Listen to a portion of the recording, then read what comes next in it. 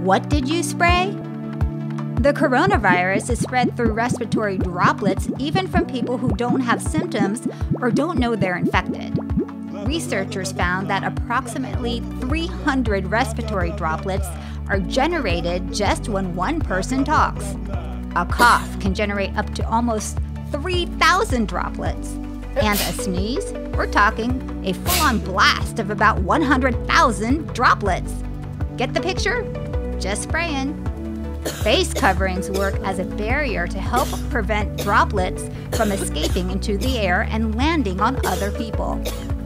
So wear a face covering, El Segundo, because wearing is caring.